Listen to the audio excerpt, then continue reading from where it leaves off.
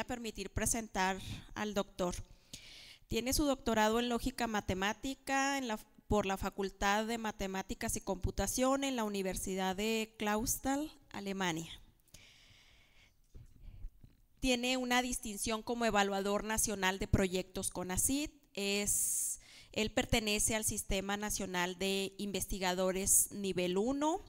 Tiene un postdoctorado en representación de conocimiento dinámico que fue financiado por CONACYT, ha sido coordinador de maestría y doctorado en ciencias en la UAM, ha tenido más de 25 publicaciones nacionales e internacionales y un libro.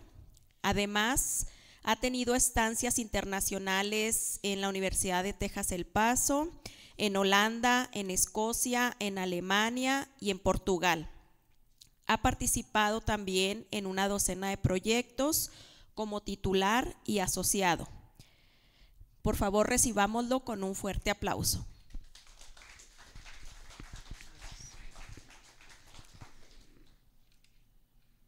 Gracias.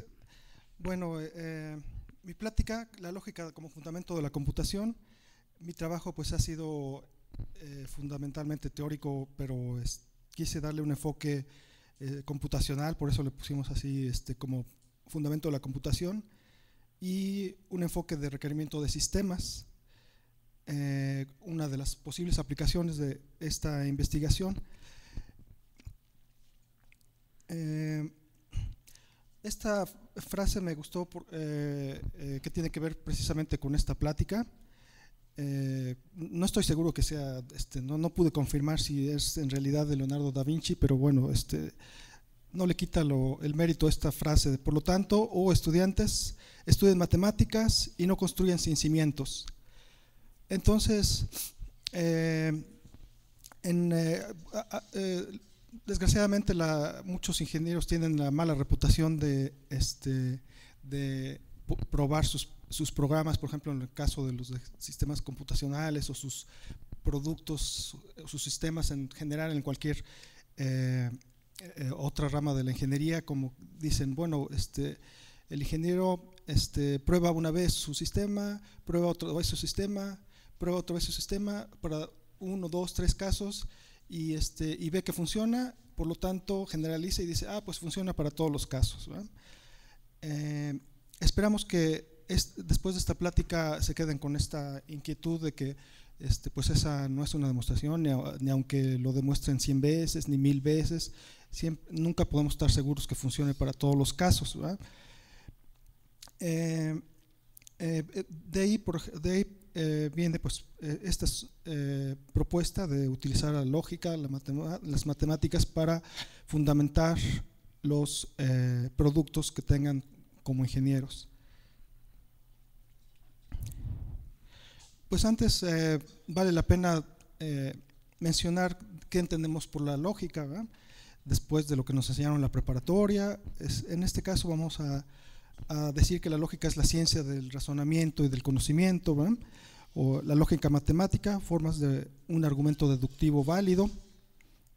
¿Qué significa válido? Bueno, pues que no tenga contradicciones, que no tenga eh, ambigüedades. El pensamiento o razonamiento matemático pues es la expresión de las ideas claras, precisas, sucintas, sin ambigüedades, sin contradicciones. El lenguaje matemático pues ya tiene que ver con variables, con conjuntos, con relaciones, con funciones, con un cálculo, con una lógica. Por eso decimos que la lógica es fundamento, uno de los fundamentos de las matemáticas y uno de los fundamentos, por supuesto, de la computación, que bueno, los que sean de computación, pues bueno, este foro es de computación, ¿verdad? Eh, que la mayoría de aquí son de computación, pues entonces este, no me dejarán mentir que la lógica también es un fundamento muy fuerte de, las, de la computación. Eh, bueno, disculpen, no pude traducir todas las, eh, las, láminas, de repente tuve que cambiar de equipo y se perdió, este, perdí información y no la podía localizar. Entonces, este, una disculpa si algunas, la mayoría de las láminas no vienen traducidas. Eh, bueno, eh, ¿dónde localizo mi investigación y dónde localizo esta propuesta de la lógica como fundamento de la computación? Eh, tiene que ver con la inteligencia artificial, en la, localidad donde, donde se encuentra esta investigación y este, esta inteligencia artificial pues eh, describe en general como un, eh, una entidad o un agente, como le dicen actualmente, una entidad de software o un agente, este, cómo puede eh, ser inteligente y entonces lidiar con todos los con todo el medio ambiente y con todos los imprevistos que pueda tener, ¿no? siempre sobreviviendo y, y siendo autónomo, siendo independiente, siendo inteligente, siendo razonable. Bueno, entonces en, esta, en este contexto eh, ubicamos eh, este, algunas de las ramas que estoy mencionando aquí, que no son todas por supuesto. KRR, que es eh, una de las ramas donde más me he estado especializando, razonamiento y representación de conocimiento, por sus siglas en inglés KRR. Otra de las ramas eh, en las que no me especializó, pero bueno, nada más para saber el contexto de eh, búsqueda optimizada, machine learning, que eso eh, hay bastantes investigadores en computación que trabajan sobre eso, sobre machine learning, bueno, pues tienen que ver con, también con inteligencia artificial. NLP, por sus siglas en inglés, que significa procesamiento del lenguaje natural, que también últimamente he estado tocando algunos temas de procesamiento del lenguaje natural que tienen que ver con lógica y, matemáticas. En representación, eh, perdón, en procesamiento del lenguaje natural, pues también tenemos eh, gramáticas, eh, lenguaje probabilístico, cómo evitamos la ambigüedad, que esa es una de las características que les mencionaba anteriormente. Otras, por ejemplo, eh, traducción de, de, de, máquinas, donde eh, pues todavía sigue en un este, en, eh, todavía sigue en investigación, ¿verdad? Esto, por ejemplo, ya, ya lo tenemos en Google, pero bueno, Google todavía, ya, aunque es industrial, pues todavía no, todavía deja mucho que desear, como ustedes se darán cuenta a la hora de traducir. Robótica, pues es otra de las ramas clásicas de la inteligencia artificial. Bueno, en esto eh, del, KRR que les mencionaba, donde me, he estado especializando más, es eh, las burbujas rojas y las este, menos rojas, que son, bueno, aquí no se ven tan, todas se ven igual, ¿verdad? Casi igual. Las rojas oscuras y las rojas claras este, son las que he estado tocando últimamente. Eh, incluso, como les decía, en Machine Learning, algunas de algunas eh, partes que tienen que ver con eh, lógica, por ejemplo ILP, ILP, Inductive Logic Programming, programación lógica inductiva, explicaciones que también tienen que ver con la este, lógica inductiva y relevancia. En la parte de estadística, pues las reyes bayesianas, que es como una alternativa, la alternativa estadística para algunos problemas que tenemos en representación de conocimiento y eh, razonamiento. Otras son eh, las categorías, que bueno, que también tienen que ver con las eh, teoría de categorías de eh, matemáticas, donde podemos encontrar las aplicaciones ya de esta teoría, que son las redes semánticas, lógica descriptiva o DL, por sus siglas en inglés, y también en eh, la parte de razonamiento, eh, este, sí, razonamiento del sentido común, common sense reasoning, donde ya tenemos, por ejemplo, este situation calculus, cálculo de situaciones, cálculo de fluentes, cálculo de eventos y este, algunos eh, eventos estocásticos que llego también a considerar. En la parte de razonamiento no, de razonamiento no monótono, o por siglas en inglés, NMR, razonamiento no monótono es precisamente cómo este, llegamos a pensar o a razonar los seres humanos por falta de información, que es un razonamiento un poco diferente al, razonamiento clásico matemático, donde se espera que el razonamiento clásico matemático sea monótono, es decir, que nunca llegue a contradicciones y que siempre se vaya construyendo sobre las mismas bases y, y lo nuevo que vayamos descubriendo de matemáticas no contradiga lo anterior. parecería que en las matemáticas sí llega a haber contradicciones, pero bueno, eh, poco después se va este, descubriendo que, bueno, es que faltaba información, por ejemplo, en el caso de, eh, las propuestas de Newton, después las propuestas de Einstein, después las propuestas de, eh, de quantum mechanics o de mecánica cuántica, este, pues eh, no es que contradigan a Newton, sino que se van aplicando diferentes contextos. Entonces Newton está, digamos, eh, no conocía más que lo que estaba a su, a su, eh, a su escala humana, ¿verdad? Después llega Einstein, ya tiene más conocimiento todavía más, más allá de lo, de, de lo que podía ver Newton con sus este, estudios de astros.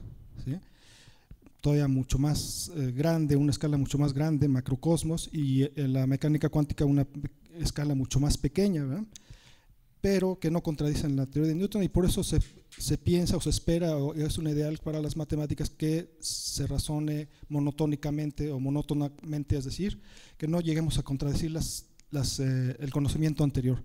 Pero, como les decía, en la inteligencia artificial y en el razonamiento humano, el conocimiento es no monótono porque sí, este, eh, eh, cuando somos niños, nada más, por ejemplo, sabemos razonar lo que es bueno, lo que es malo, este, eh, blanco, negro, y, este, y conforme vamos aprendiendo, vamos modificando ese conocimiento, vamos contradiciendo, vamos afinando nuestras reglas hasta, este, hasta llegar a conocer lo que, lo que, lo que un adulto llega a saber. Entonces, ese es el razonamiento no monótono que puede contradecir conocimiento anterior y por eso se dice no monótono. Entonces, en este razonamiento no monótono tenemos eh, algunas otras ramas como la incertidumbre, las preferencias, que también son eh, eh, tópicos que tienen que ver con mi investigación sobre todavía representación de conocimiento y razonamiento, tenemos una rama también muy interesante, muy importante, con la que, en la que más me he especializado, mantenimiento de veracidad. Ya que estamos hablando de representación de conocimiento y razonamiento para los agentes, esperamos entonces que eh, no lo sepan todo, este, porque su, eh, su, su, capacidades son limitadas, igual que las de los humanos, y por eso tengan de repente que hacer un mantenimiento para ese para ese conocimiento no monótono, un mantenimiento de reglas y decir, bueno, cuáles siguen siendo vigentes, cuáles derogamos, cuáles modificamos. Aquí, por ejemplo, para el mantenimiento de la eh, veracidad, tenemos lo que es revisión de creencias, actualización de creencias, para consistencia. Revisión de creencias y actualización de conocimiento de creencias tienen que ver con esto que les mencionaba anteriormente sobre eh, eh, un conocimiento previo que tiene que ser eh, actualizado o modificado porque ya conozco más cosas que lo contradicen. Eso tiene que ver con el mantenimiento de, de la velocidad.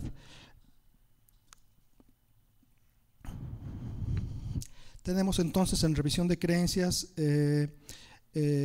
estados epistémicos, revisión de creencias, perdón, bases de, creencias y bases de conocimientos. Otras de las ramas que les mencionaba este, es la de paraconsistencia. Paraconsistencia quiere decir las lógicas que pueden, este, que pueden eh, eh, aceptar contradicciones. La lógica clásica, que es la lógica que este, usa la, que eh, fundamenta principalmente a las matemáticas y la computación, pues la lógica clásica no acepta contradicciones, pero porque su naturaleza es monótona, como les decía. Entonces, si algo lo, modelamos con lógica clásica y de repente encontramos una contradicción, este, pues tenemos que resolverla de alguna manera, porque si no, eh, como se dice en lógica, este, eh, podemos decir cualquier cosa, ¿sí? incluso eh, contradicciones. Entonces la lógica eh, para consistente tiene que ver precisamente con unas lógicas que no son clásicas y que sí permiten contradicciones. Un ejemplo de las lógicas este, para consistentes pues puede ser también la lógica difusa que tiene que ver con robótica, que tiene que ver con control y donde sí se aceptan niveles de creencia. Entonces decimos, bueno, está, este, no, no, no existe eso de blanco y negro, sino blanco, negro y además otro, una escala de grises, ¿verdad? Donde, este, y si eso en lugar de decir blanco y negro decimos sí y no, ¿sí?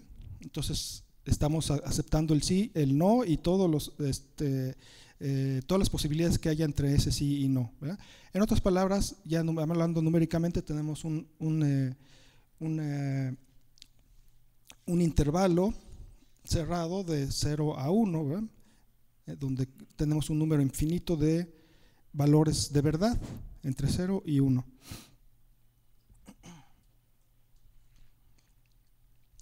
Bueno, ya este, entrando en materia y, trayéndoles una anécdota de algo de investigación reciente, es eh, cómo aplicar esta representación de conocimiento no monótono, donde este, en, esta parte de razonamiento, representación de conocimiento y razonamiento tenemos eh, defaults o eh, lo que se conoce también como, bueno, a veces se traduce como este, información por omisión, entonces algo que no, no, lo conocemos o no tenemos evidencia de algo, entonces lo asumimos como cierto o como falso hasta que se demuestre lo contrario.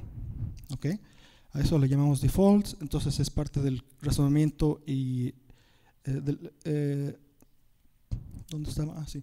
del razonamiento no monótono, los defaults, eh, en electrónica y en sistemas computacionales pues tienen aplicaciones esto de CWA, Closed World Assumption o aseveraciones de un mundo cerrado,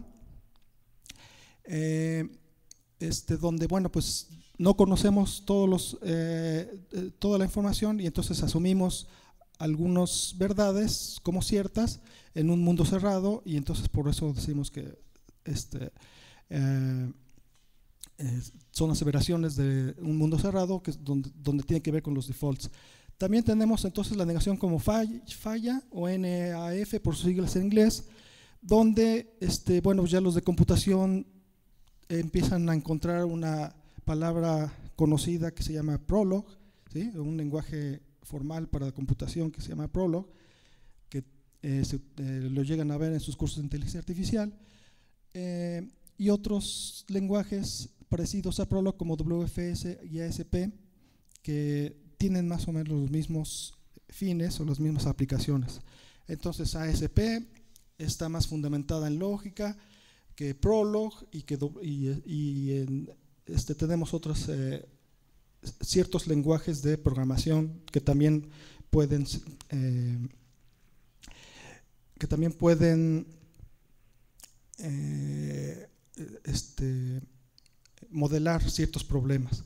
Bueno, un lenguaje, un, programa típico en ASP o, este, o una base de conocimientos, como se podría llamar en filosofía o en, un cálculo proposicional, es, eh, se, ve como este, ¿verdad? Entonces en, en, Prolog, ¿se acuerdan que tienen un, un, operador que es dos puntos guion? Pues es como si fuera una flecha este, de implicación al revés, ¿sí?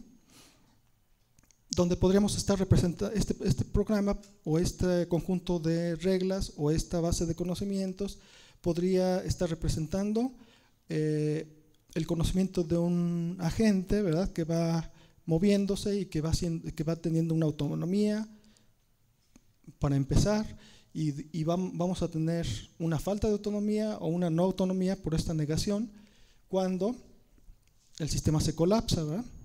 De alguna manera puede llegar a que el sistema se colapsa, entonces ya, falta, no, ya no existe la autonomía, por lo tanto aquí podría haber una contradicción, ¿verdad? Igual acá, por ejemplo, si tiene, por ejemplo, este, siguiendo las, las señales de, de, las, eh, las señales de las huellas, cuando está otro, tipo de negación, entonces aquí digamos es una negación más fuerte, aquí es una negación por default o por omisión, donde decimos que eh, perdimos la señal de las huellas, entonces ya, este, eh, perdón, cuando no, no, no, no, hay evidencia de que perdimos la señal de las huellas porque está negado por default, entonces seguimos las señales de las huellas. Ahora, ¿cuándo no seguimos las señales de las huellas? Una negación fuerte, cuando eh, pues ya se perdieron las, las señales. Y bueno, pues entre otras reglas, otra, por ejemplo, alertar al conductor A cuando no hay evidencia de una ruta preferida A, encontrar una nueva ruta cuando no hay una evidencia de una ruta preferida A, etcétera, etcétera. Entonces, así es como se ve una base de conocimientos y como se dan cuenta, está expuesta a una contradicción. No se puede modelar con una lógica clásica porque se colapsaría el sistema si este fuera un sistema de navegación, por ejemplo. En Prolog tenemos, este, para resolver el problema, tenemos eh, un assert y un retract, ¿verdad? Los que conocen Prolog eh, saben que hay eh, funciones de aserciones y retracciones. Entonces, este, con esto podríamos, digamos, ir quitando reglas o ir añadiendo reglas, depende, eh, dependiendo de si hay contradicciones o no hay contradicciones. Sin embargo, este es un problema porque eh, en Prolog después descubrieron los investigadores de inteligencia artificial en los años 90, 80, descubrieron que, bueno, que este, no era suficiente añadir o quitar reglas cuando teníamos una contradicción. ¿Por qué? Porque teníamos efectos colaterales, porque pueden este, estar encadenadas a otras reglas a través de otras implicaciones que estén escondidas y que no se vean a simple vista. Por otro lado, eh, tenemos el mantenimiento de la veracidad, donde este, hay un, es una disciplina más eh, más especializada de cómo eh, eliminar contradicciones y cómo, para qué queremos eliminar las contradicciones, para el mantenimiento de la veracidad, es decir, si estamos hablando de un sistema inteligente, eh, que ese sistema no se colapse, manteniendo siempre su base de conocimientos o su mente, entre comillas, la mente de ese robot o de ese sistema inteligente. Entonces algunos filósofos en los 80 se eh, especializaron en este cómo eh, regular ese cómo regular ese mantenimiento de la veracidad y formularon ocho principios u ocho postulados básicos y les pusieron su nombre, los, reserraduras, éxito, inclusión, vacuidad, consistencia, extensión, superexpansión y subexpansión. ¿sí? Entonces, con esos postulados, este, así les pusieron de nombre, pero más adelante vamos a ver en unas láminas cómo se, ven eh, matemáticamente hablando. Bueno, entonces, eh, el problema es que queremos mantener la veracidad y además seguir razonando de acuerdo a los nuevos eventos, a la nueva información o a la falta de información. Entonces, tenemos veracidad y razonamiento, pues lo más natural es utilizar la lógica, lo más natural es eh, irnos a esos fundamentos. Eh, la investigación entonces que llegué a hacer en el doctorado y, en el postdoctorado consistió en eh, aplicar toda esta parte teórica a esta parte práctica de inteligencia artificial, de bases de conocimiento aplicadas a, conocimiento incierto o a conocimiento incompleto. Bueno, por otro lado, eh, hablando de la lógica, que en este caso, como ya les decía, bueno, no, estamos, no, no podemos hablar de lógica clásica porque la lógica clásica no nos permite contradicciones. Eh, eh, utilizamos algunas otra, otras lógicas no clásicas, en este caso la N2, que la N2 está compuesta por axiomas de la lógica intuicionista y la lógica de Nelson. Este, en la lógica intuicionista los axiomas de la lógica intuicionista más los axiomas, más seis axiomas de la lógica de Nelson, más la negación fuerte. ¿Se acuerdan que en el, en el ejemplo anterior teníamos dos tipos de negaciones? Una fuerte, donde afirmamos algo que sí sabemos, y una por omisión o por default, negación por default, como se, se le llama, eh, donde este, asumimos que eso no es cierto hasta que se, se, se se, se, demuestre lo contrario. ¿ok? Entonces, de la lógica intuicionista, si añadimos otros dos axiomas de la lógica de Nelson, obtenemos la lógica N2 con un axioma más. ¿sí? Por otro lado, este, la lógica clásica, la lógica clásica tiene, eh, eh, seguramente no, no, llegaron a ver la lógica clásica este, definida en axiomas, pero eh, en algunos de sus cursos, pero pues por lo pronto tienen que creerme que la lógica clásica está compuesta por los axiomas también de la lógica intuicionista, más los axiomas, este, un axioma de la lógica here and there, o la lógica de tres valores de verdad, más el axioma del tercero excluido. Eh, con eso obtenemos entonces la lógica clásica, pero si añadimos otra vez otros seis axiomas más la otro tipo de negación, obtenemos la lógica N3. Bueno, eso es para el contexto de qué es la lógica N2, que es la que utilizamos en este tipo de propuesta. ¿Se acuerdan de Robert Kowalski? Los que llevaron inteligencia artificial, pues ya este es clásico encontrar a Robert Kowalski en los libros mencionado.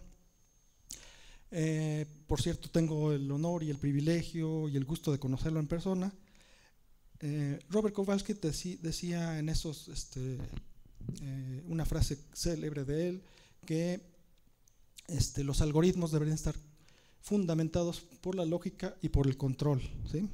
La lógica, pues ya sabemos, este, en ese tiempo se hablaba solamente de la lógica clásica, pero el control pues es lo, ya la parte semántica de cómo vamos a, este, a trabajar con el conocimiento.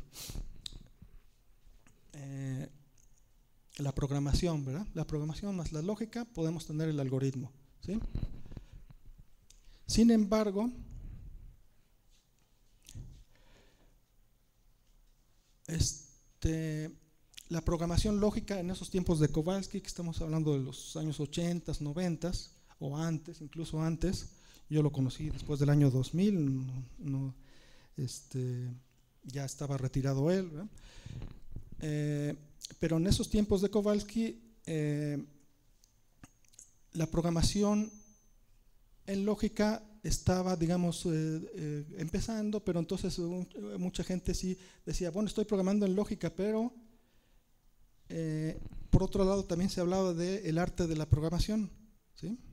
el arte de la programación versus programación en lógica. ¿Qué, será más fundamental y qué será más, eh, más preciso, ¿sí? más correcto? Pues bueno, pues, eh, supongo que por el título de la plática, espero que este, piensen que la programación en lógica sea la respuesta. Sin embargo, eh, mucha gente trabajaba en el arte de la programación tomaba literalmente ese, ese título del arte de la programación porque también había algunos, eh, eh, algunos investigadores eh, trabajando sobre algoritmos y titularon una obra que se llamaba así, El arte de la programación, aunque en realidad pues era una obra teórica, fundamental, fundamental, pero mucha gente tomó eh, literalmente el arte de la programación. ¿Y por qué subrayo entonces el arte? Porque pues eh, sus productos, sus sistemas o sus teorías eran más artesanías que ciencia. Y ahorita los vamos a, mostrar un ejemplo. Un ejemplo pues, este, más, eh, más general, hablando en una manera más general, es la actualización del conocimiento, donde tenemos este, eh, el ejemplo de las láminas anteriores, versus la reprogramación del conocimiento. Entonces, actualización de conocimiento en, eh, en, literalmente actualización de conocimiento con las, los postulados y los principios que definieron los filósofos, o simplemente reprogramando conocimiento, una especie de este, analogía con el arte de la programación, o todavía peor, si no estábamos reprogramando conocimiento, reprogramando algo más que ni siquiera sabíamos sus efectos, ¿sí? Como en Prolog se conocían los efectos colaterales, pues aquí después en, los, en, la, en la primera década del siglo XXI eh, eh, este, se estaba trabajando sobre actualización de conocimiento y este, no se daban cuenta de lo que hacían hasta que otro investigador les descubría sus errores.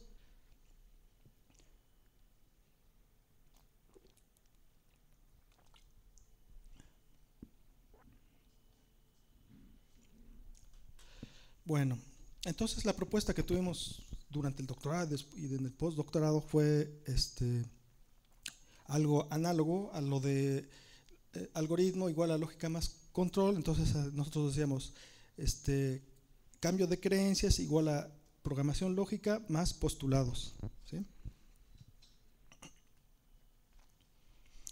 ¿Qué ventajas tendríamos eh, al, al trabajar desde los fundamentos de la programación, desde los fundamentos de la representación de conocimiento.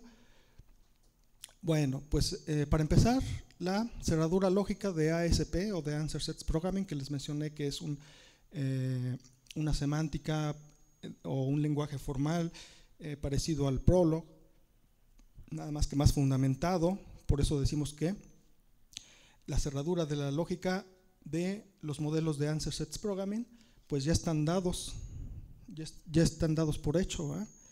Entonces tendremos como resultado o como ventaja un, fundamento o, unas eh, bases más sólidas y robustas, una programación para el caso de las aplicaciones y de los programadores, de la gente de computación, pues tenemos entonces que ofrecerle una programación más declarativa. ¿sí? más declarativa quiere decir eh, más simbólica, más más, eh, más del qué en lugar de el cómo. Transformaciones congruentes. ¿Qué queremos decir con eso? Eh, transformaciones pues que nos van a ayudar a mantener la, eh, la veracidad, como les decía, y además que son correctas propiedad, exploración de propiedades de cualquiera de los dos lados. O sea, al, estar trabajando sobre los fundamentos, pues tenemos también este, ventajas de encontrar propiedades tanto del lado de control como del lado de la lógica matemática. Entonces, este, eh, se enriquece más el producto, por así decirlo. Además tenemos una unas bases de conocimientos más simples que si estamos entonces eh, eh, este, programando artesanías o definiendo artesanías y de repente pues tenemos que parcharlas porque encontramos un error y que este, no era lo que nosotros esperábamos, no era correcto. Por lo tanto, lo vamos parchando, lo vamos parchando, lo vamos parchando y vamos haciendo una base de conocimientos monolítica que a lo mejor hace lo mismo que, una, que su contraparte simple, pero pues más ineficientemente.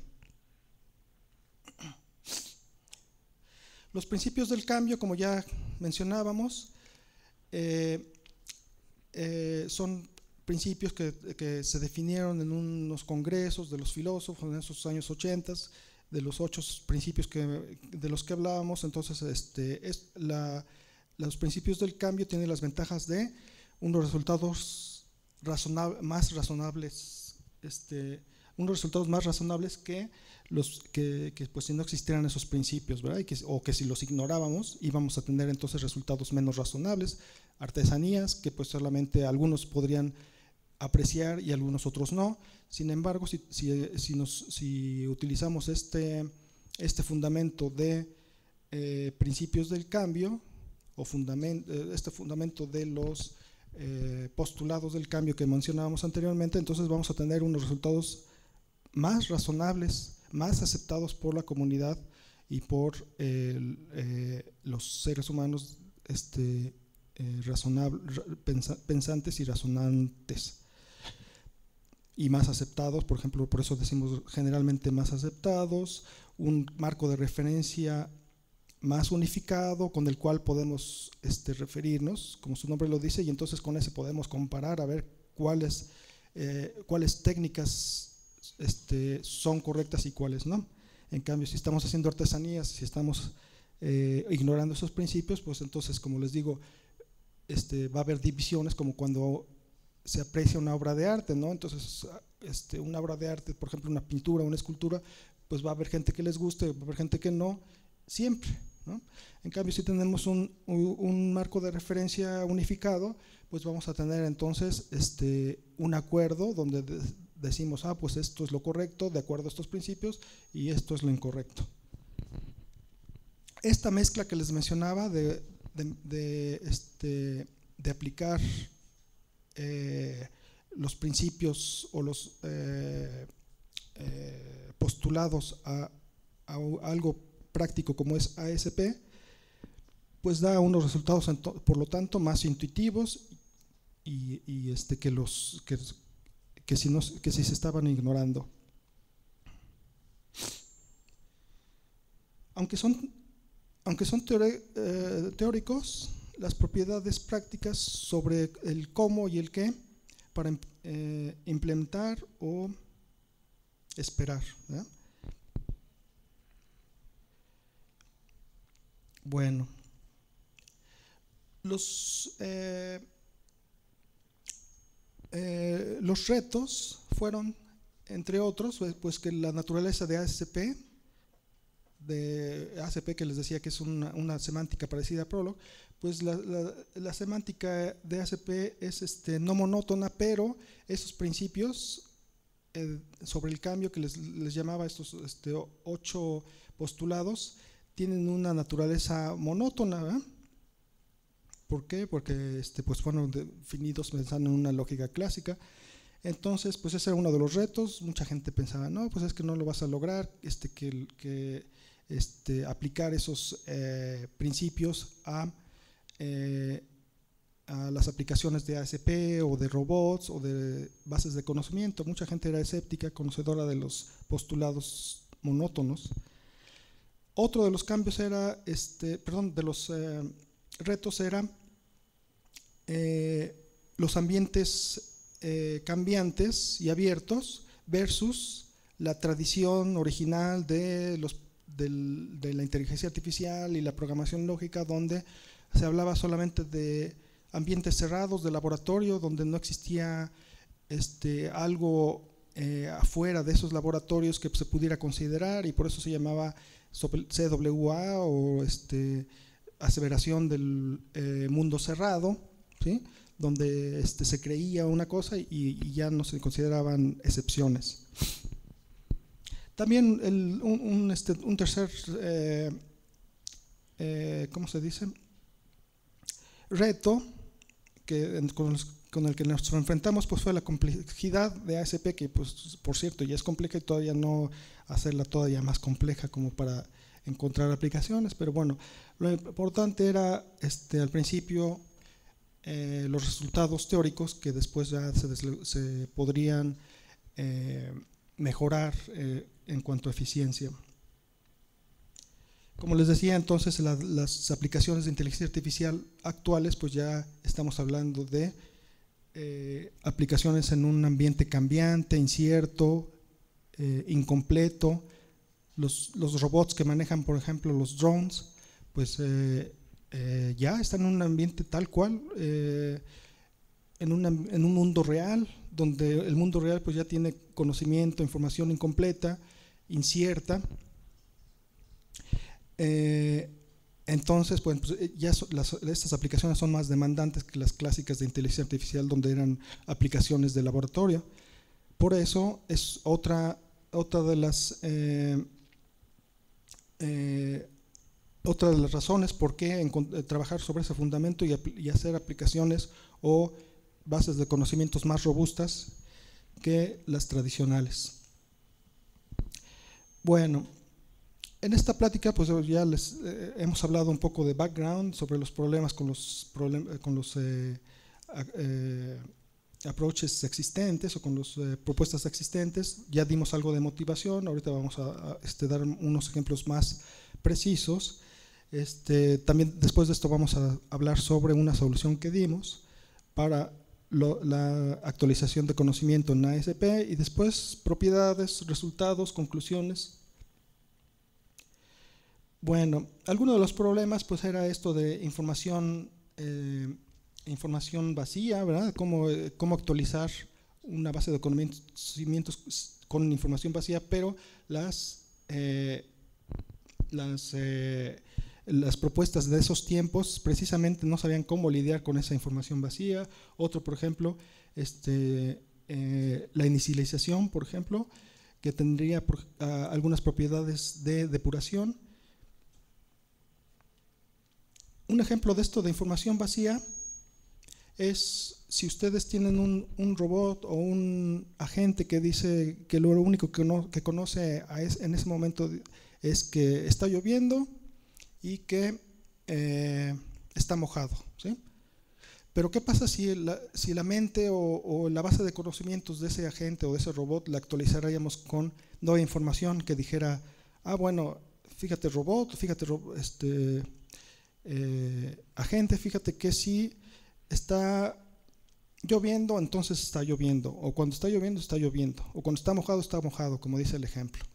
Entonces, este, pues, si a nosotros nos dicen algo, ah, bueno, cuando está lloviendo, está lloviendo, cuando está mojado, está mojado, cuando repruebas, repruebas, cuando, este, pues, no debería de cambiar nuestras creencias anteriores, ¿verdad?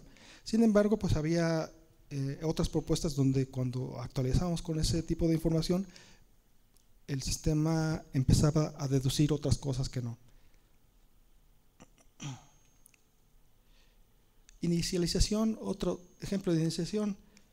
Si decimos, si la gente en ese momento con, lo único que sabe es que dice que, bueno, está lloviendo y está mojado, y si lo queremos actualizar con una base de conocimientos vacía, ¿Debería de cambiar su base de conocimientos o no? ¿Debería de saber más o debería de saber menos?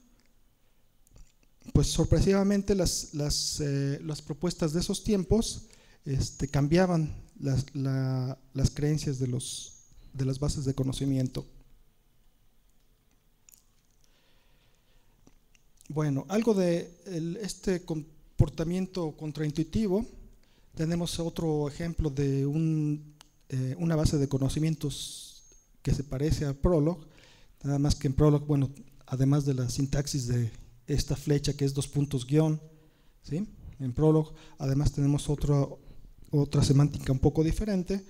Bueno, esto que dice, cuando es de día, es, perdón, es de día cuando, acuérdense que ese tipo de negación es negación como falla o negación por default, decimos cuando es de, es de día cuando no hay evidencia de que sea de noche y es de noche cuando no hay evidencia que sea de día. Esto eh, en lógica clásica lo veríamos como un silogismo disyuntivo, ¿sí? Silogismo disyuntivo, entonces aquí tenemos la disyunción y, si negamos alguno de los dos, pues obtenemos el otro. Bueno, el otro nos dice, bueno, hay estrellas cuando es de noche y no hay evidencia de que está nublado y, el, y al momento, este símbolo que dice, bueno, es verdadero, entonces en todos los casos se cumple que no hay estrellas. Bueno, entonces, eh, ¿qué podría concluir la gente si, si, tuviera eh, en su mente esas, esas reglas? Bueno, diría, este, es de día y no hay estrellas. Sin embargo, uno de los problemas que podíamos encontrar con las propuestas de esos tiempos se decía, ah, bueno, ¿qué tal si actualizamos esa base de conocimientos con una nueva? Esa nueva base de conocimientos dice, hay estrellas cuando hay constelaciones y hay constelaciones cuando hay estrellas. ¿Cómo veríamos en lógica clásica esta, este conjunto de reglas? Bueno, pues como una sola regla que dice A es equivalente a B, lógicamente equivalente a B. Entonces, si, actualizamos nuestra base de conocimientos con esta nueva información, pues no debería de cambiarla. están de acuerdo, espero. Sin embargo, en, este, las propuestas de esos tiempos veíamos que además de, la, conclusión anterior, eh, pues las propuestas actuales de esos tiempos estaban concluyendo otra cosa extra que no debería de ser. Estos, eh, en esos tiempos estaban estas cuatro propuestas, después fueron existiendo más, se fueron dándole vuelta. Este, las primeras dos eh, eh, daban estos resultados contraintuitivos, las últimas dos, este, aunque daban resultados correctos, estaban diseñadas para otra cosa. Por ejemplo, esta decía, este, si, si, es correcta, pero va de un está eh, fundamentada en, un, eh, en, una manera sintáctica y la otra pues solamente hacía una sola actualización, no podíamos actualizar lo que ya estaba actualizado, porque estaba eh, pensada por otros propósitos. Otro ejemplo rápido, ¿qué pasaría si tuviéramos ese mismo ejemplo de la base de datos original anterior? Y además la quisiéramos actualizar con esta este, nueva nuevo conocimiento que dijera, o nueva información que dijera, hay estrellas cuando hay estrellas. ¿Están de acuerdo que no debería de modificar nuestra base de conocimientos original? ¿Sí? Es decir, estas conclusiones originales que diría antes de la actualización es de día y no hay estrellas, pero después de la actualización un nuevo modelo que dijera este, además de que es de día y no hay estrellas, otra posibilidad es que sea de noche y haya estrellas. ¿Por qué tendría que modificar la información si, si esa, esta, esta información es inocua, es vacía, es una eh, eh, este, información, que información hueca? Es una tautología. Una tautología, como se conoce en lógica, pues no debería de cambiar la información. Bueno, la solución, pues ya les decíamos que este, aplicábamos estos series de postulados, ocho postulados de AGM, son por sus siglas de los cuatro autores, que también tengo el gusto y el honor y el privilegio de conocer a uno de ellos, a Garden Force.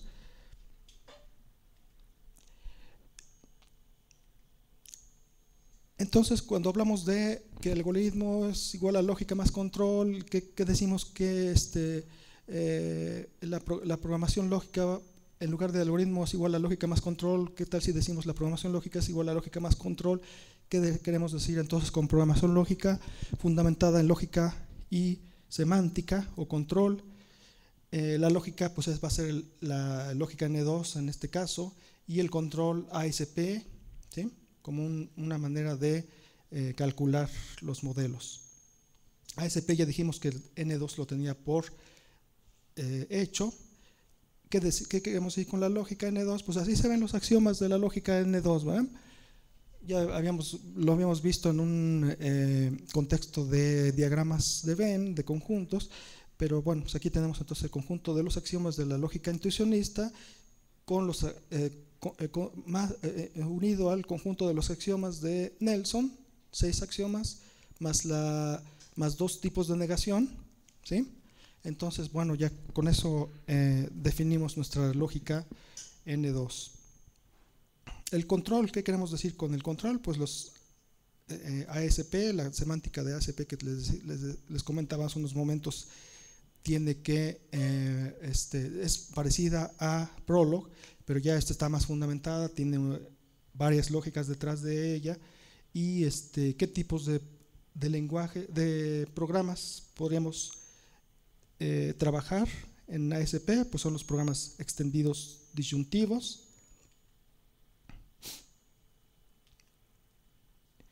Este, y la semántica de bien definida y bien estudiada de ASP. No nos vamos a detener. Sin embargo, pues aquí tengo láminas para después de la plática, si ustedes quieren echarle un vistazo de cómo se calcula los, el reducto de una ASP y, eh, este, y los modelos. ¿Cuál es la semántica? Aquí está definida en un lenguaje, como les decía, eh, un lenguaje formal, matemático.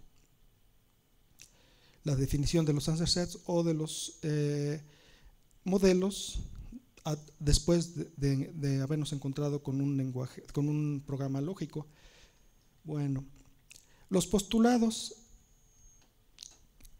¿Dónde, ¿En qué contexto encontramos los postulados? Bueno, esa es otro, otra lámina donde ahora en lugar de hablar de las ramas de la inteligencia artificial, ahora hablamos de los fundamentos de la inteligencia artificial. Entre otros encontramos la neurociencia, las matemáticas, la lingüística, la filosofía, la economía. Igual las, las, burbujas rojas y, rosas este, son eh, donde más me he especializado. Entonces en las matemáticas, en cuanto a la formalización, no solamente de eh, las herramientas que estamos utilizando de inteligencia artificial, sino también la formalización de los problemas, la formalización del conocimiento, la formalización de los cambios, la formación de los problemas. Por otro lado, tenemos este, la, rama eh, filosófica de fundamento, uno de los fundamentos de la inteligencia artificial. Entonces tenemos la conciencia, mente versus eh, cerebro, lenguaje y lógica, esto está en rosa, ah, semántica, es otra rama, epistemología. ¿Qué es la epistemología? Bueno, pues es el estudio de las creencias y del conocimiento, ya que estamos hablando de creencias y conocimiento, pues no nada más, no nada más las mencionamos eh, eh, de una forma vacía, sino también las mencionamos de una forma fundamental, con un, una, disciplina que las estudia, la diferencia entre ellas, y aquí entonces en la, en la parte del, en la rama de la creencia, pues tenemos entonces la contracción, la expansión, la revisión de creencias, donde están los postulados de AGM, de Alcuron, Gardenforce y Mackinson. Después fueron refinados por otros, otros dos este, otros, eh, investigadores y finalmente pues, este, pude reformularlos para encontrar los míos eh, aplicados a la ASP, donde decían que eran este, imposible poder eh, trabajar con los postulados en ASP. Sin embargo, descubrimos que no era imposible. De estos este, ocho postulados, pues solamente este, los redujimos a seis. Los seis de los seis cumple cinco. Nuestra propuesta, eh, ¿por qué no cumple el sexto? Bueno, pues porque tiene que ver precisamente con la no monotonía este, que no existe en, perdón, por la monotonía que no existe en Ancestors Program.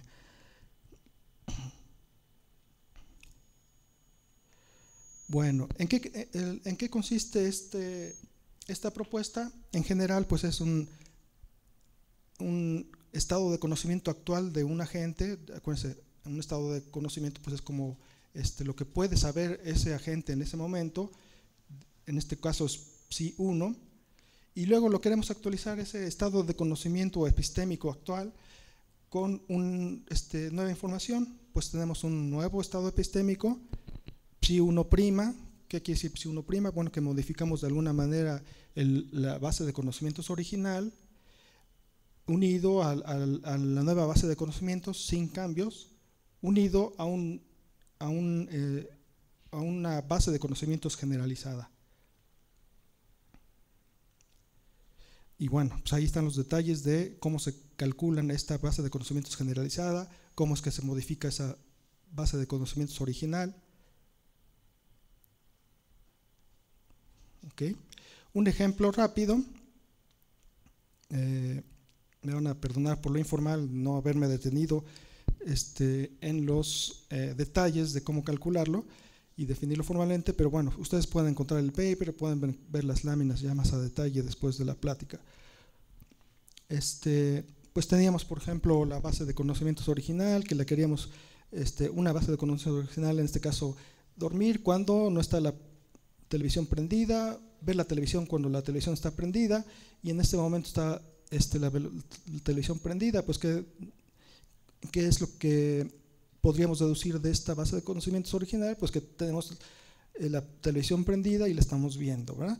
Pero ¿qué pasa si, este, si nos encontramos con alguna contradicción? Decimos, bueno, pues hay un apagón al momento y en este, en este caso estamos diciendo, bueno, cuando hay un apagón y, este, y la televisión está prendida, es, un, un, este, es imposible, ¿no? un estado que no debe de existir. Bueno, pues ¿qué pasa si este, actualizamos estas dos bases de conocimiento? Eh, la base de conocimientos original ya modificada pues es simplemente estarle este, informalmente añadiéndole estos, eh, estos nuevos eh, átomos, estos nuevos variables y encontrar el, o calcular el nuevo, este, los nuevos modelos a, partir de una base de conocimientos modificada y una base de conocimientos generalizada, eh, donde podemos entonces lidiar con esa información contradictoria. Entonces, el, el, resultado de esta actualización debería ser entonces, bueno, pues hay un apagón y entonces a dormir.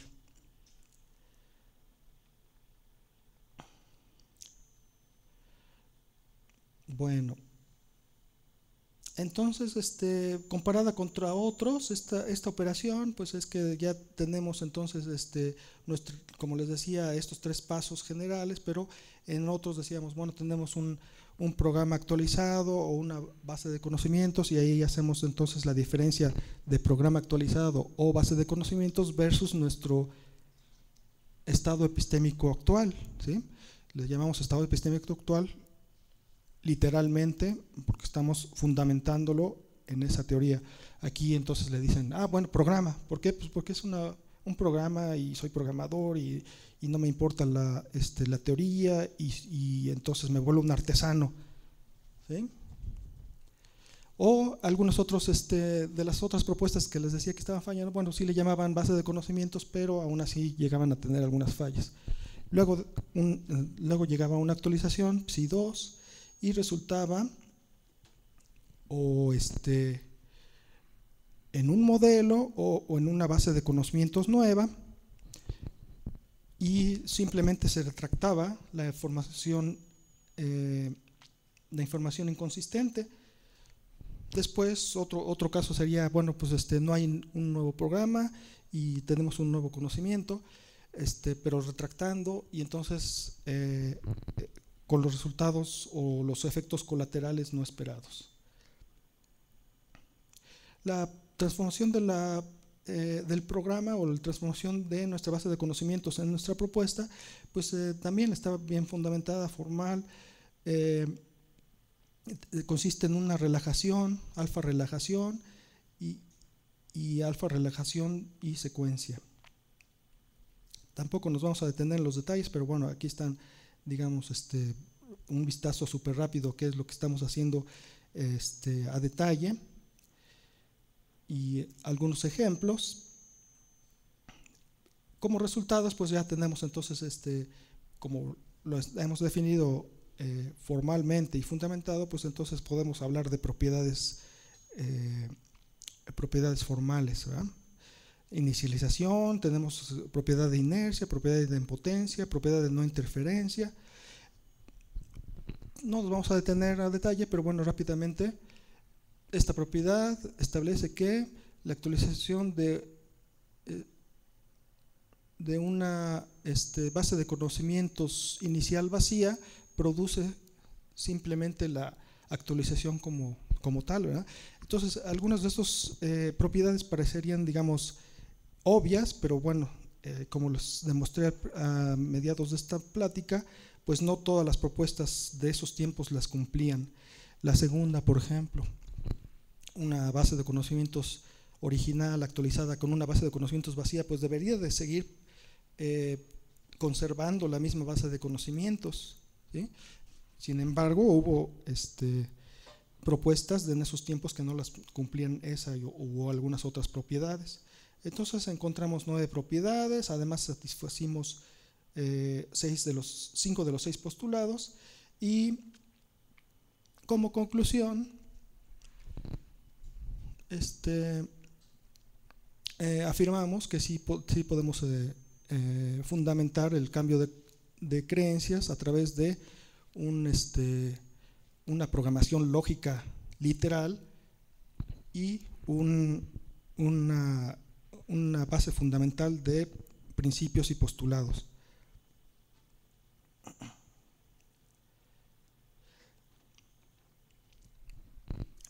Bueno, también encontramos, eh, eh, pudimos, eh, uno de nuestros estudiantes pudo hacer una implementación de un prototipo, este, donde, bueno, pues aquí se pueden, no tienen que calcular todo a mano, lo hace un solver y además este, confirma nuestros resultados.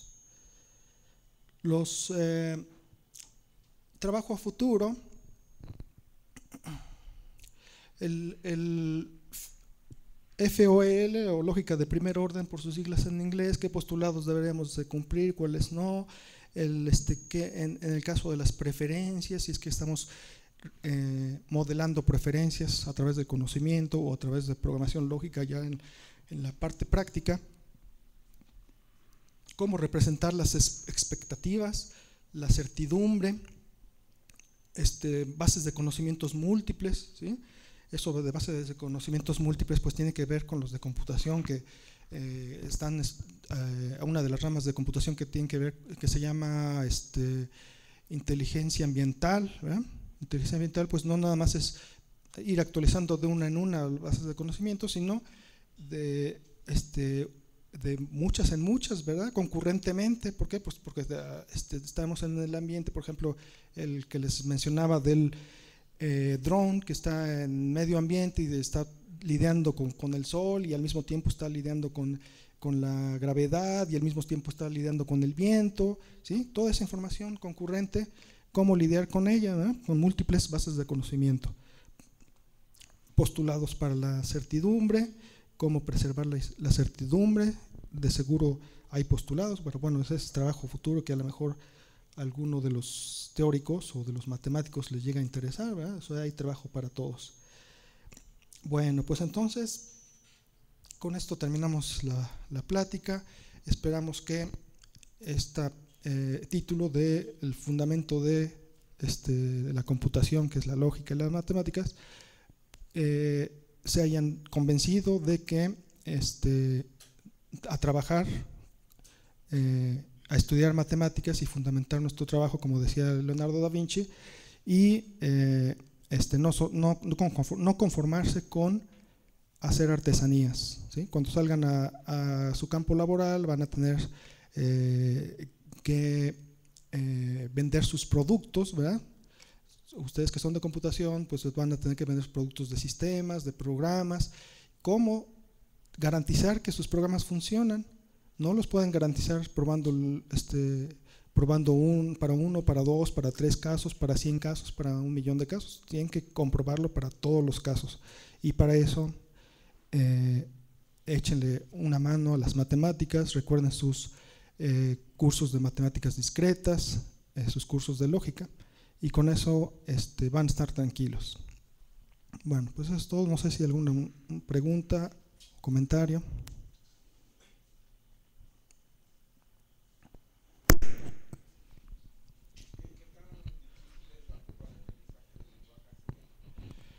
Eh, bueno, este, en, el, eh,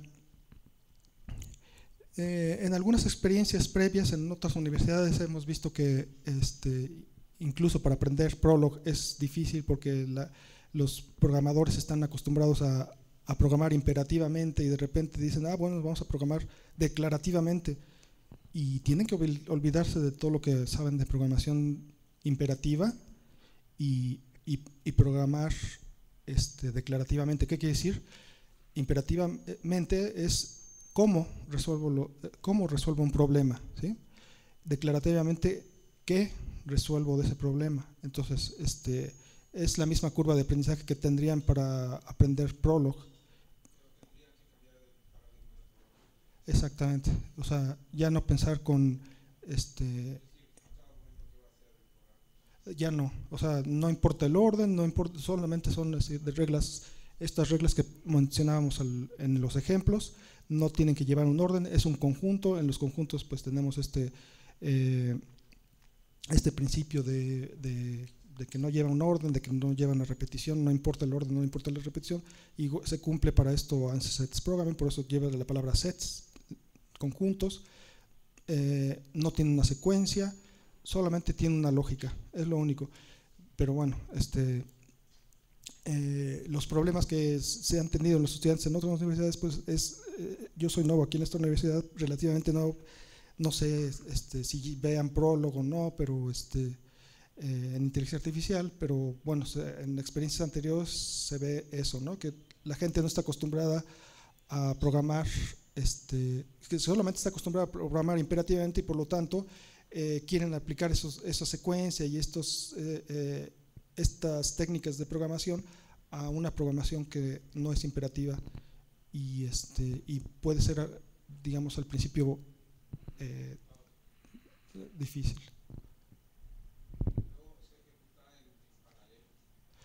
Sí, también hay investigación de paralelo, pero bueno, este, eh, eh, hay solvers para, para, programación en paralelo, pero bueno, no, no, no, me he metido a eso, pero bueno, pues también estoy abierto si a alguien le interesa trabajar, eh, explorar cómo programar en paralelo, sobre todo para esto que mencionábamos de los últimos ejemplos de inteligencia ambiental, ¿verdad? Que llegan todas las, este, la información de una manera concurrente y, eh, y, este, y más de una información, entonces cómo, cómo lidiar con eso este paralelo que, bueno, no debería de resolver el problema de la complejidad, pero sí por lo de la eficiencia. Sí, es software libre ASP, se llama, este, y ya entonces tienen, por ejemplo, el este Sí, corre en Linux, corre en Mac, corre en, Mac, corre en Windows. Este, uno, alguno de los solvers para ASP se llama este, DLV. Entonces buscan en Google DLV y bueno, pues ahí lo pueden bajar. Este otro se llama este, Models. Otro se llama este, uh, CLASP. ASP, ¿verdad? Esto de ASP, bueno, no, me acuerdo qué significa CL, bueno, yo he trabajado más, bueno, los, mis alumnos han estado implementando con DLB, ¿verdad? Los otros sé que existen, pero no los hemos trabajado. Entonces, todos son libres, a pesar de que DLB, por ejemplo, ya es este código cerrado, ya tienen ahí sus secretos para hacerlos más eficientes, este, pero Models es código abierto, Clasp creo, me parece que también. Entonces, este, sí, no hay problema por la, lo libre. Aquí vamos a, montar este, este solver que teníamos que les mencionaba, lo vamos a montar en los servidores de aquí de la universidad y entonces pues aquí va a estar al acceso para tanto para los servidores como los estudiantes. Este, tenemos entonces en mente hacer una, un, eh, eh, pues un laboratorio de lógica y de matemáticas en línea en la, en la nube y entonces pues hay trabajo para programadores, hay trabajo para matemáticos, hay trabajo para logicians, hay trabajo para todos los interesados, hay, siempre hay algo que hacer ahí. gente de computación que esté interesada en, cómputo en la nube. Y este, pues ahí vamos a implementar nuestro software, este, nuestro software, ¿cómo se dice? Gratuito. ¿Qué pasó?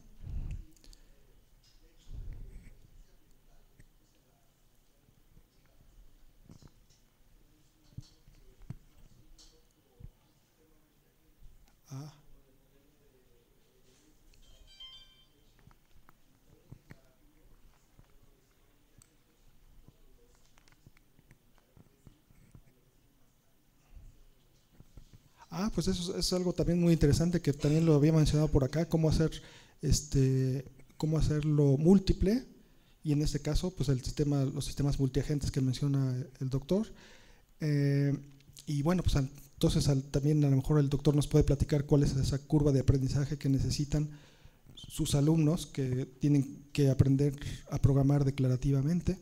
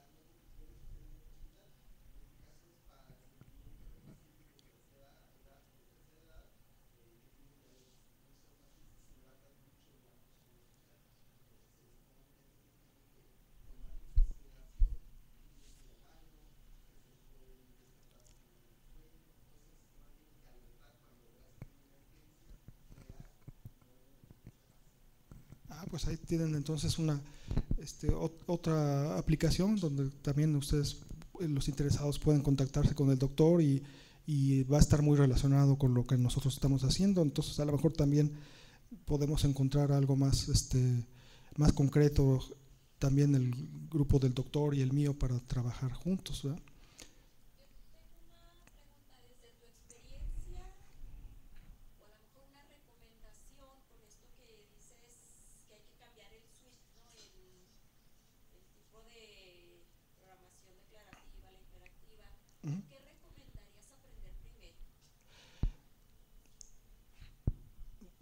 Pues, uh,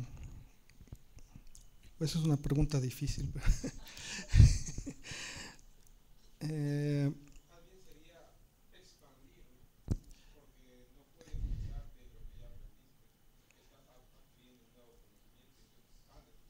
Exactamente, pero yo creo que la pregunta...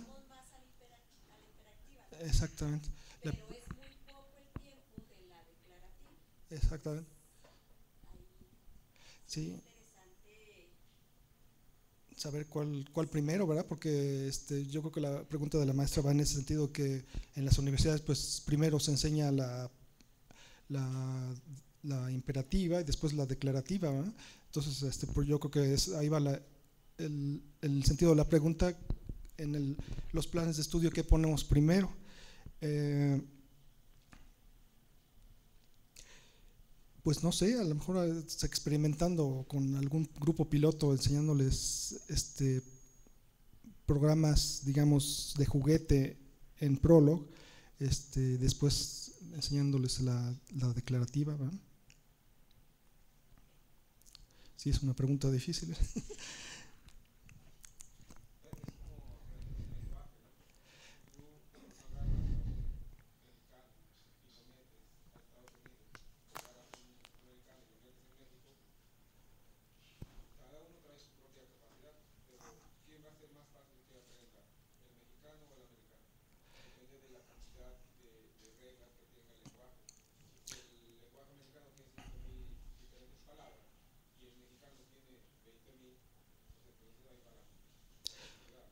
Sí, pero bueno, a lo mejor ahí este, sería, eso analogía sería, digamos, válida en, entre lenguajes imperativos, pero un lenguaje declarativo, bueno, como la programación lógica o la programación funcional, por ejemplo, este, pues son menos reglas, menos este, sintaxis y menos semántica de los, eh, de los lenguajes y, y es, para empezar, pues la lógica es más natural, ¿no? Entonces, este, la lógica este, la traemos naturalmente desde que nacemos y entonces a lo mejor ahí sí, ¿perdón? Hasta que nos educan. entonces ya nos empiezan a deseducar o deslogizar.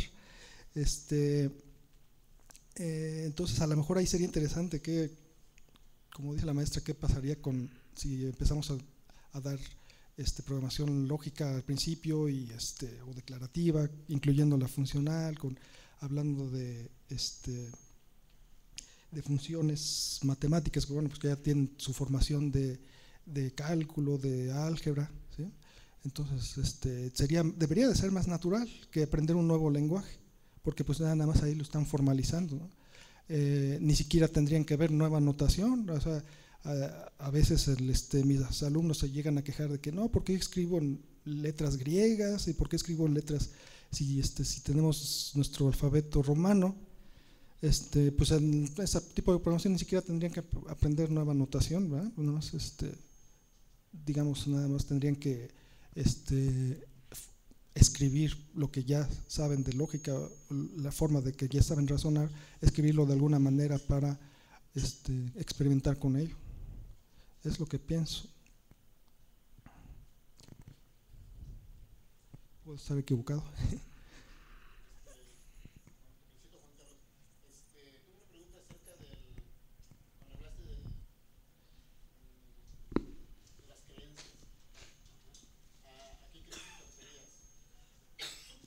Este, pues es buena, es buena pregunta y bueno, este, ya cuando por allá el doctor, este, no me acuerdo su nombre, pero lo relacionó también con los el tipo de arquitectura de los agentes BDI, Belief, Desires, Intentions. Entonces, tal cual su, este, eh, la palabra creencia tiene que ver literalmente con lo que creemos. En ese caso de BDI, pues lo que cree un agente o lo que es, idealmente esperamos que un agente llegue a, a creer o a incorporarse creencias, igual que, este, eh, que las creencias humanas. ¿no? Entonces, eh, es, esto de revisión de creencias, eh, estas formulaciones pues, están tan generales que se pueden aplicar a cualquier tipo de creencias. O sea, en matemáticas, pues una creencia, pues una conjetura, después llega a ser este, un teorema o una proposición, entonces pues ahí está una creencia, ¿no? un, tipo de creencia que es una conjetura, este, no sabemos si asimilarla o retractarla hasta que, hasta que veamos una demostración. Entonces, este, en, en, en, los seres humanos pues tenemos creencias de que algunos creen en Dios, algunos creen en el... Este, eh, en la Big Bang, algunos creen en la, este, algunos no creen en Dios, algunos, no, algunos este, creen en el determinismo, otros eh, en el, ¿cómo se dice el determinismo? El destino, ¿verdad? Algunos creen que estamos destinados, otros creen que no estamos este, predestinados. Entonces, todas esas son creencias entonces, que, este, eh, que, por cierto, en, el, en uno de los diagramas donde decíamos, bueno, la epistemología estudia precisamente eso, la diferencia entre creencia y conocimiento. ¿A qué le llamamos creencia? Pues a una aseveración que tenemos sobre algo, en este caso Dios, o en este caso el universo, en este caso lo que sea, este, y cuando se vuelve conocimiento, bueno, pues algunos teóricos dicen, bueno, pues cuando es una creencia justificada y además es una creencia este, válida y además es una creencia este, eh, eh, probada o explícita, ¿no? que es precisamente lo que tenemos entonces en la este, en pues cualquier disciplina humana. Ahí es, la creencia entonces tiene que ver con, con cualquier disciplina.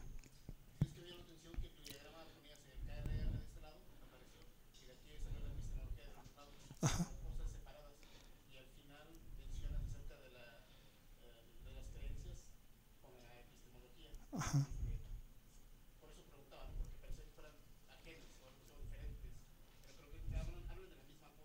Sí, habla de la misma cosa, nada más que en, contextos diferentes. Bueno, en una parte, digamos, filosófica y en otra parte eh, de conocimiento práctico, ¿no? O sea, de una parte filosófica de conocimiento y otra parte, perdón, pragmática, de matemáticas, de lógica. Este, pero a final de cuentas es lo mismo, ¿no? Entonces, este, son diferentes puntos de vista, los, el punto de vista filosófico y el punto de vista pragmático. ¿Alguna otra pregunta? Bueno, pues eh, gracias por esta primera eh, aparición aquí en el foro. Esperamos que no sea la última. Gracias. Y este, pues es primera ocasión que se toca el tema de lógica y programación lógica en el foro. No recuerdo otra antes. Espero que les haya gustado y este, si es un tema que no es muy común para ustedes, pues que haya despertado algún interés. Y aquí está el doctor para contacto. Lo tenemos aquí, desde hace un año, ¿verdad? Bueno, medio. Medio, medio año. ¿Estás dónde? ¿En el G? G201C. G201. G201. Sí. Bueno, vamos a otorgar el reconocimiento al doctor Juan Carlos Acosta Guadarrama por la ponencia que nos acaba de brindar. Le otorgamos un aplauso.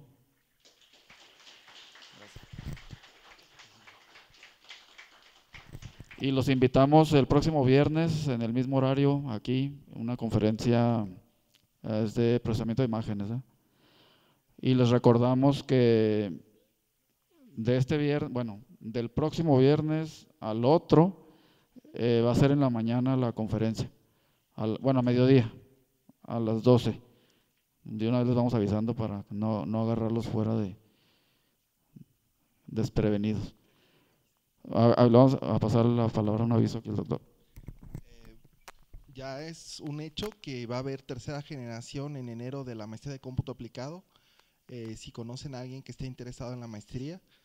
De hecho, vamos a ir a, hacer unas aplicaciones al Tecnológico de Parral y a los dos tecnológicos de Chihuahua. Les recuerdo que las becas de CONACID están, bueno, van a subir en enero a 10.700 con un fondo extra que va a generar CONACID. Es una oportunidad única para que estudien la maestría aquí en la escuela. Las tres acentuaciones que tiene la maestría, les recuerdo, es web en la nube, es ingeniería de software y donde yo estoy que es soft computing. Entonces es una oportunidad única que se den. No creo que después de esta tercera generación volvamos a abrir hasta como en año y medio, porque fue muy fortuito que se dieran estas situaciones. Entonces les recuerdo que la única maestría en cómputo en todo el estado que tiene beca de CONACYT es la de aquí. Ojalá si conocen a alguien o alguien que conozcan, eh, los empleadores de INEGI dicen que ustedes, bueno, cualquier persona que sale de esta escuela cuando sale eh, va a recibir un salario entre 4.000 y 4.500 pesos. La beca está en 10.700 al mes. ¿Sale? Nada más ese aviso. Gracias, que pasen un buen fin de semana.